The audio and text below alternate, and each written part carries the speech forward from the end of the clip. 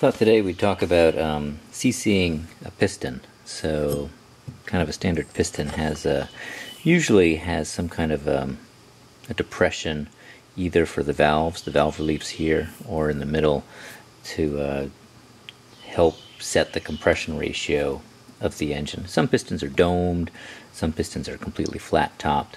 On a 944, to control the compression ratio, the head stays the same, and there's a whole bunch of different varieties of pistons. This is a standard, um, normally aspirated piston. It's got its its depression. It's about that big, about two inches in diameter or so. This is a high compression piston from 1988. This raises the compression. I don't remember exactly what it is. Um, nine and a half to one to 10.2 to one, something like that but it's a much smaller depression, a much smaller opening there. And then a, a turbo piston, this one I painted for fun, uh, it's, it's no longer good. Um, it has a great big depression here because the turbos run 8 to 1 compression ratio. So the bigger the bigger pocket um, allows that. And actually this big pocket here, there's no valve reliefs.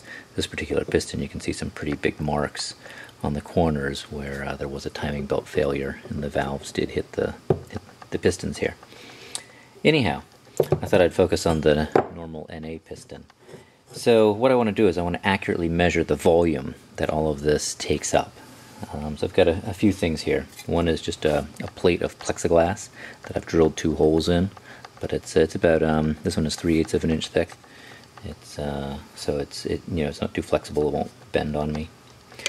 And then I've got a syringe here that's calibrated in cc's or milliliters. Um, I used windshield washer fluid because it's blue. I thought it would show up well in the video, but water or something like that is fine. This particular syringe has this little uh, tube that comes off it, which which is helpful. But I made my um, my plate with two size holes, a little hole for the tube, but then the big hole I can just stick the end of a syringe in if I didn't have the tube. So what we're going to do is we're going to put this plate on the the piston. And then I'm going to you know the water in it, the windshield washer fluid in it, and see how many cc's it takes. Um, because this is just a demo, I'm just going to do it dry. Uh, if you're really trying to get accurate numbers, you can take a little bit of grease and put a little bit of grease on the top of the piston, and that'll make sure that it makes a, an airtight seal. But for this demo, I, I wasn't going to bother. So I have this filled up with 20 milliliters of, of fluid. And as I start pushing this in, it's going to start filling up the, the chamber area. Hopefully that shows up in the video. I'm just pushing it in nice and slowly and gently. I don't want to go too fast, otherwise it'll try to come out the top of my little drilled hole. You can see it's starting to fill one of the valve reliefs there.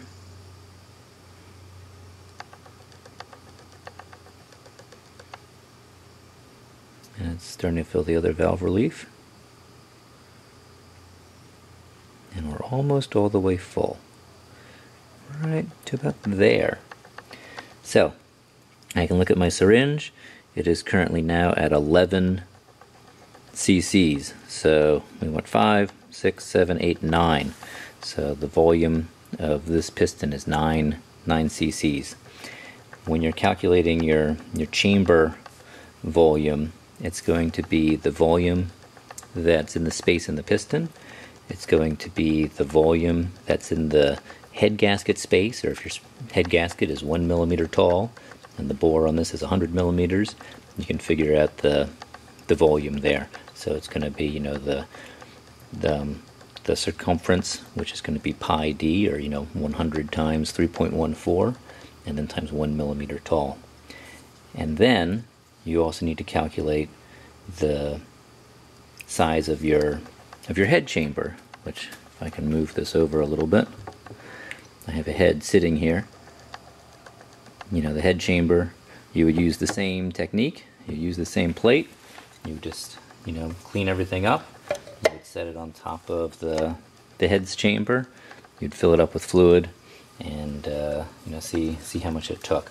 Now this would take more than this syringe holds, so my choices would either be to um, you know, do it in 20 millimeter increments until it's completely filled up, or else get a larger syringe and do that. And then you do that, and then once you know all your volumes, you can uh, easily calculate your, your true static compression ratio. Um, you know, the, the, the way it goes, you've got the displacement, which is the bore times the, the stroke, right? That's the, the piston moving up and down.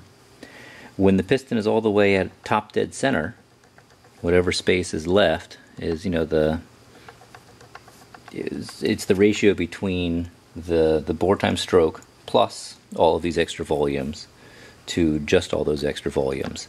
So if you start out with 600 cc's and it compresses down to 60 cc's, that's a 10 to 1 compression ratio. And so that's that's how they do that.